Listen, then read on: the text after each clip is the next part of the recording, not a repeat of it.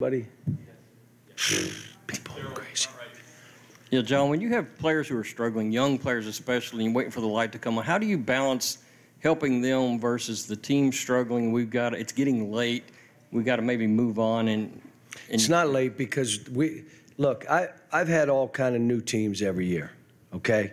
That doesn't phase me. Mid-season changing your team phases me. Because now the chemistry, you're just plugging guys in. And I went to a shorter rotation. Um, and you know, we I loved how we started the game. We were the aggressor. We had to change a little bit of what we were doing. Um, we also, you know, how we were guarding people. And I keep saying, we got shot blockers. Don't give them a jumper. Make them beat you on the bounce because we got people back in there. Ugonna set a, a, a record, which is amazing 10, 10 blocks. Um, and they got seven footers now. Seven, one guy's seven five. So I thought Reed played well. Robert did not play well in the first half. I thought DJ really helped us because of what he did defensively. Then he comes out in the second half, didn't play real well. But you know what? I just grabbed him in there, and he's the greatest kid. He's fine. Like he's he was off for two and a half weeks, almost three weeks. So it's going to take him time. Um, but I, you know, I still want to put Jordan in just because I love his energy and his fight and what he does. And he didn't get in this game. I thought Aaron played well. Justin, they, they just, there, there's some plays that we're trying to train them on that they can't help themselves. There are two guys wide open. We are the best three point shooting team, and there are two guys wide open, and you try to shoot a ball. Why is that? Now, all we do is talk about it. The best way we can get threes off is by driving the ball, and when they collapse, find somebody. Whoever you throw it to can play. But it, Adou did it a couple times again, just tried to shoot it. Like, but, you know, that's, that's one of our biggest things, the way we shoot threes. The big, for me today, we guarded. We guarded. I mean, um, their guards are really good. We guarded the three point line, stuff that we've been working on. It's just going to be a process. And I keep saying to everybody, we'll break through. We will. My teams break through. The difference is we've had to add guys. And I'll say it again there, if we'll defend a little bit better, be physical, 50 50 balls, including rebounds, Tre being in there today helped us. He goes and gets those tough rebounds, which we don't get. Now you get them with him in the game. And then lastly, let's improve our defense by about 10%. Because when you score and don't turn it over much and have individual players like Robert and Antonio and DJ and Reed who can just go get a shot when they want to, that's a recipe for a team that can do well. If they fight, play physical, 50 50 balls, and get better defensively. The other stuff, it, you saw today, it doesn't really matter who I put in. The five guys out there, they can all play basketball, they can all shoot it and pass. And all right, we done?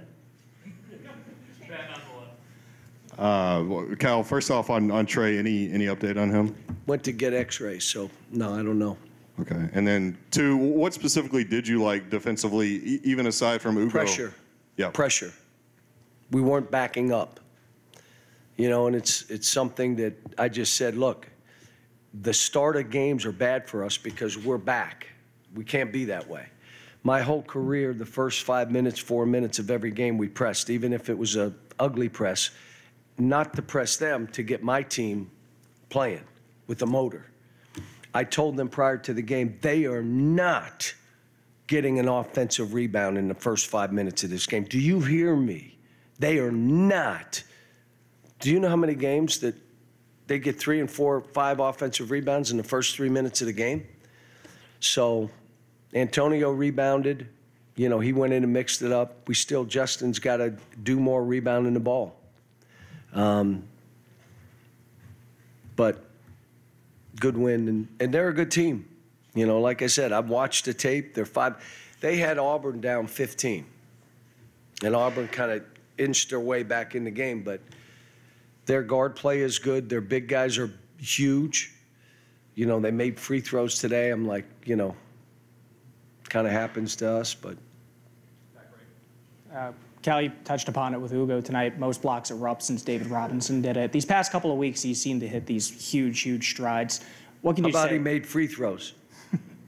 so you think about it; those are big. Now, I told him you can't go one for two and miss a dunk, and then go one for two from the foul line. You know, you dunk it, and then you'll get one more. And if you miss that, it's okay. We got two. So you know, he's. We're, one of the things that's bothering me, we're throwing him really hard passes for him to catch. Like a dude threw him a lob, just came up and threw. Like you can't do that to him when he's doing all that he's doing defensively, don't do that to him. Don't give him the ball in bad areas. Now, rolling down the middle, Reed found him, DJ found him, Robert found him. You know, was he a double double? No, um, Ugo.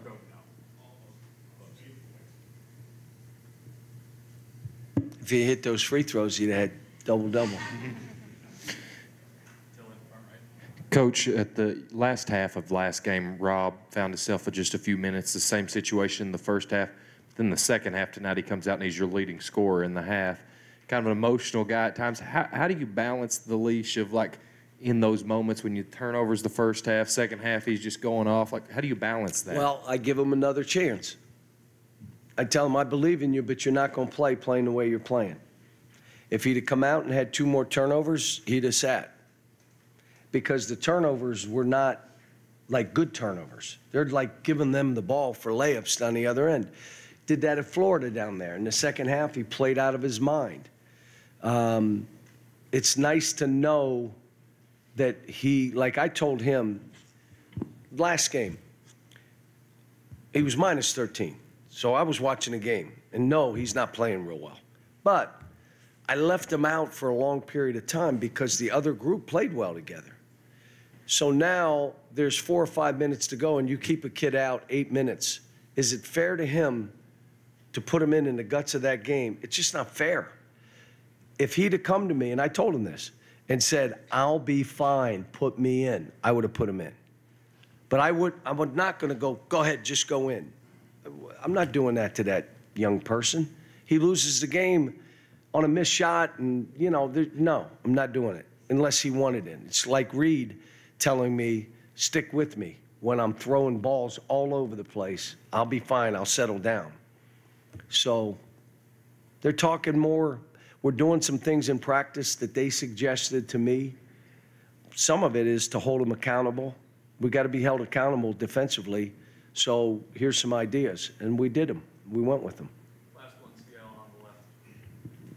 John, I wanted to kind of piggyback off something you said after Saturday's game in terms of being built for March. What what does that look like to you? What what are the areas that you want to see, and how much will these next All right, few so games I'm kind gonna, of determine gonna, that? well, next two games don't. It's, it's over this period of time.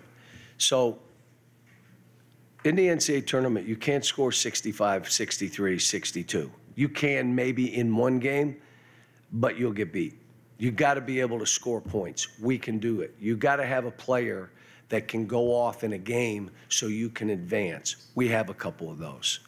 You can't be a high turnover team because the team you're going to play, they're in the NCAA tournament, they're going to be a low turnover team. We're a low turnover team. The issue is, will we be physical enough? The reason we were physical today, DJ's physical, okay? Tre is physical. Ugonna's physical. Adou's physical. Now you're playing four of your top eight are physical players. They're going to bang. That was one of our issues. 50 50 balls. We missed some today again. Justin didn't dive for the ball. He tr- tried to pick it up with one hand and then threw it to them. 50 50 rebounds. Tre helped us today. We're still not where we need to be. And lastly, defensively, you got to be more connected. So if we get those things squared away, the hardest thing to be is what we already are.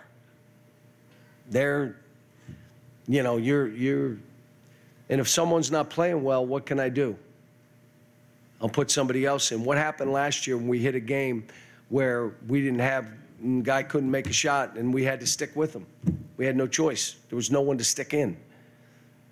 Now you got you got some different things. Shot blocking will also make a difference, and it does make a difference defensively. So, you know, we got a, we got a ways to go, but it's, you know, and, I, and I've, I've explained that now. That's about the tenth time I explained what I meant. So, in no disrespect, but I'm done explaining it. You guys explain it to each other. What I'm saying about why I think March. Um, but we got to go take care of business. If we don't get more physical when we play, if we don't improve our defense, if we don't come up with 50 50 balls, tough rebounds, then it doesn't matter this over here. But this over here is the hard thing. All the stuff I told you right there, what kind of skill does that take? No skill. Do you want it or not? What about this stuff over here? Ooh, that takes skill. And, you know,